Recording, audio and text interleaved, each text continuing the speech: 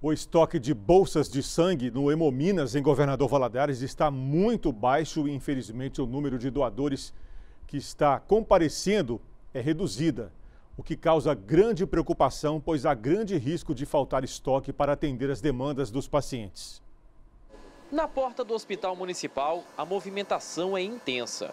O entra e sai de ambulâncias é constante e a unidade pede socorro é que estão faltando bolsas de sangue para atender as demandas hospitalares. O Hospital Municipal ele atende pacientes de Governador Valadares, de municípios vizinhos. E diariamente são feitas inúmeras transfusões de sangue e de hemocomponentes do sangue dos nossos pacientes.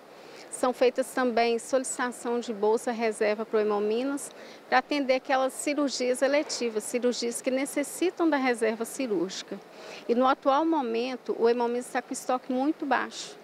E assim, é, nós, nossa preocupação é que eles não consigam estar atendendo as demandas né, que chegam para eles diariamente. A nossa preocupação é que venha faltar mesmo né, bolsas de sangue para estar atendendo essas demandas que, né, que surgem no hospital de transfusões e também é, reserva cirúrgica. Porque se não houver reserva cirúrgica é, bolsa de sangue para reserva cirúrgica, essas cirurgias elas podem ser canceladas. As doações de sangue têm impacto direto no atendimento da rede pública de saúde. Só o Hospital Municipal de Governador Valadares é responsável pelo atendimento de cerca de um milhão e meio de pessoas, divididas em 85 municípios. As doações que chegam a Valadares atendem hospitais dos vales do Aço, Rio Doce, Mucuri, Jequitinhonha e também da Zona da Mata.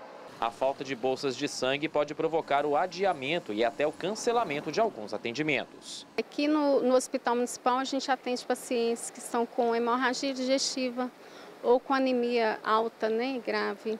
É, cirurgias também, como eu disse, reservas cirúrgicas são necessárias ter a bolsa de sangue reserva. Então, assim, são inúmeras é, situações que precisam da bolsa de sangue ou do hemocomponente do sangue para estar atendendo esses pacientes. Este enfermeiro da Fundação Hemominas da cidade explica que alguns fatores, como o frio, têm influenciado na queda de doações de sangue na cidade. A queda de doação vem ocorrendo há algum tempo, né? Mas recentemente a dengue, a, a chikungunya e a zika, que foi muito noticiado aí, já dificultou um pouco. Né? As pessoas queriam vir doar, mas adoeciam e aí ficavam impedidas. Tem um período, eles têm que melhorar, sarar, para depois conseguir fazer a doação. E agora está chegando a época mais fria do ano, né, que costuma, essa sazonalidade costuma também é, cair um pouco a doação. Por isso a gente está agora é, solicitando que o pessoal venha doar, até é, antes do frio começar direito. A doação de sangue é um ato que pode salvar vidas além de bondade e generosidade, contribui para o funcionamento dos serviços de saúde. A demanda por sangue na região é urgente e o enfermeiro explica como ajudar a suprir esta necessidade. Para que a gente não, não dificulte o atendimento às nossas agências e assistências hemoterápicas, o ideal é que o Hemominas colete 60 bolsas dia, né?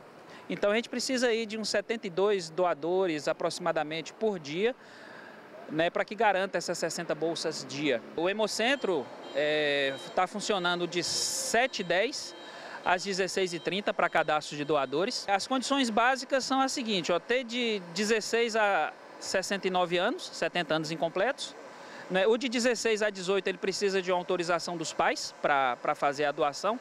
Pesar acima de 50, 50 quilos, ele tem que pesar na nossa balança 51, a gente desconta um quilo é, não ter tido hepatite até os 11 anos de idade, né, estar bem de saúde.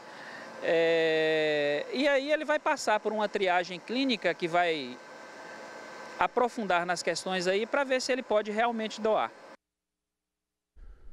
O Hemocentro em Governador Valadares fica na rua Barão do Rio Branco, número 707, na região central. Funciona de segunda a sexta-feira, de 7 da manhã às quatro e meia da tarde. O telefone para contato e outras informações é o 3212 5800 DDD 33 3212 5800.